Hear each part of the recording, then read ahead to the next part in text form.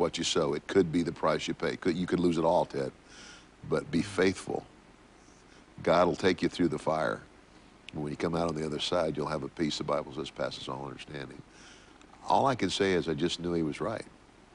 Okay, so obviously the Lord intervened, and your wife Melanie had love and forgiveness in her heart, probably with some conditions. Well, you know that that's a, that's a whole other story, Marcus. I mean, you know, my wife witnessed to me two days after this confession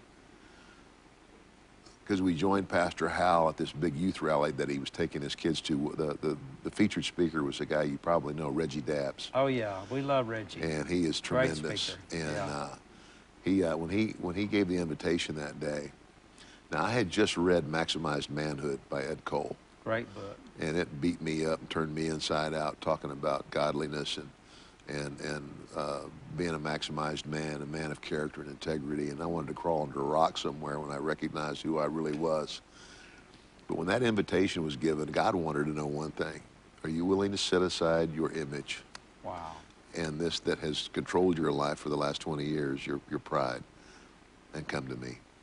And I got out of my chair and I, I, I basically ran forward.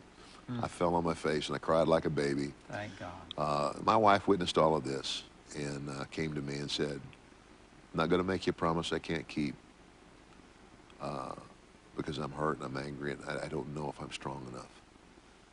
She said, And that's "Every- understandable. Yes, and she said, everything in my flesh says run. She said, but I watched what you did here today and, and you know, and I had confessed and I'd begged forgiveness. Uh, and she said, you know, I have to pray and ask God for his discernment. God, is he sorry or is he just sorry he got caught? Oh yeah. She said, but I want you to know something. Either way, I've forgiven you because God Wow. calls on me to forgive you. Would you say that to women that are watching today, no matter what condition their husband is in spiritually and emotionally, to never give up? Never give up. Never give up. I, I know that uh, my wife didn't. My wife prayed for me for a long, long time, and uh, uh, you know, and one of the things that I that I, I try to tell people as I speak in churches is that my wife saw the tears, and and she saw me fall on my face, and she she she heard me beg for forgiveness. But but the difference in our marriage is that that over the course of the next couple of years, we went, you know, it was no it was no okay, it's over, let's go on. It was her trying to get rid of those horrible images in her head, and, and me trying to win back trust and, Oh, yes. and and all those things. And as as as I stepped out and became the spiritual leader of my home, walked in integrity, uh, you know, began to serve my family as God called me to. And that's one, one of the things I hit men with all the time is you're, you're to be a servant husband. That's right. And I says, I, as I began to do that, as, as my life began to bear fruit, that's when the trust came back. That's when, when, when, when the marriage came back to not only be healed, but far beyond what it's ever been. And, and, and that's the same thing Jesus must see in us. Not, not that we go forward at a church service and say the sinner's prayer and weep a few tears.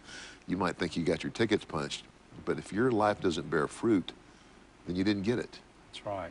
Well, it's a process. Healing is a process, Amen. whether it's spiritual, emotional, or physical.